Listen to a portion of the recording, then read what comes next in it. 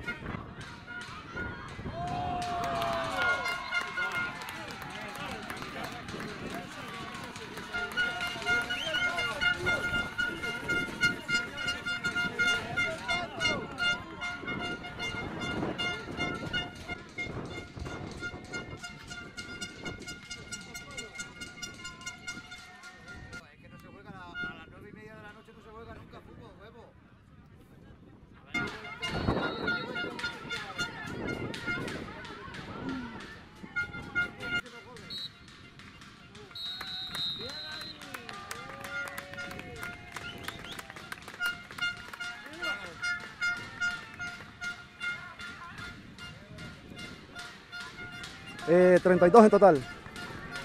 Hoy hemos marcado 4 con el equipo que tenemos, grande equipo que tenemos aquí en Carrilla. Es el objetivo ganar la copa, en todo el grupo, porque nos, merecemos estar ahí donde estamos. El objetivo era quedar campeón y ahorita paso a paso en la copa, partido a partido. Esto estamos acostumbrados a jugar en, el viento aquí, como en nuestro campo, y difícil que nos ganen acá. El primer tiempo lo resolvimos bien y el segundo tiempo lo manejamos a ras de suelo el partido. Vamos a descansar, a, ya tuvimos nuestras vacaciones, ahora seguimos más vacaciones ahora.